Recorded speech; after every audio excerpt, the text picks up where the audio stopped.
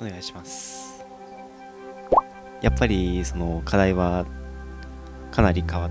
変更がありまして今までの全てをなんか問われるというか試されるような課題でした。他の海外選手との交流とかもありますし他の海外選手のやり方を見てああこんなやり方もあるんだなっ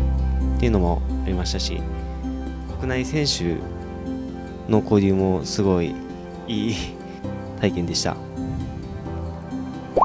国内大会ではないような盛り上がりというかその終了間際とかはもう選手の周りに人が観客がいっぱい集まってタイムをカウントして終わったらもうすごく盛り上がってとってももうドキドキしたというか 思い出深いですね、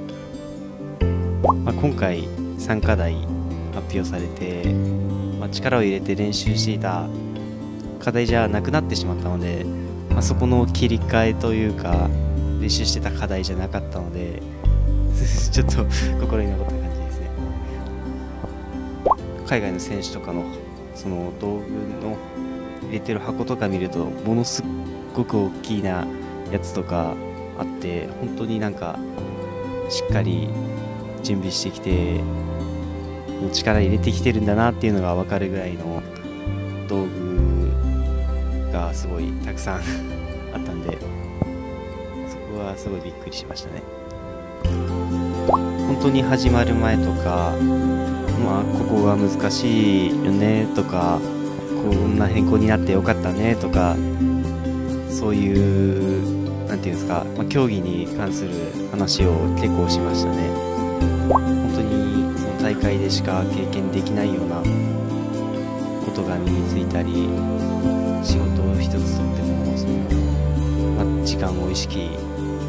したりとか、まあ、その競技に通じる部分とかもあるので、まあ、仕事に活かせるようなことが、まあ、いろいろあるのでそういうのがいい経験になってるのかなとは仕事とかではなくて、まあ、競技に関することなんですけど現地の置いてある道具っていうのを積極的に使った方が、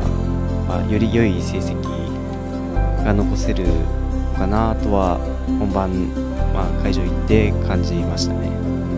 まあ、そのこの国際大会での経験を生かして先輩方とまあ、重要なぐらいいい職人になれるように頑張っていきたいと思ってます。なかなか得難い経験だと思うので、えー、積極的に、えー、物事に取り組んで、えー、国際大会に出れるよう頑張ってほしいと思ってます。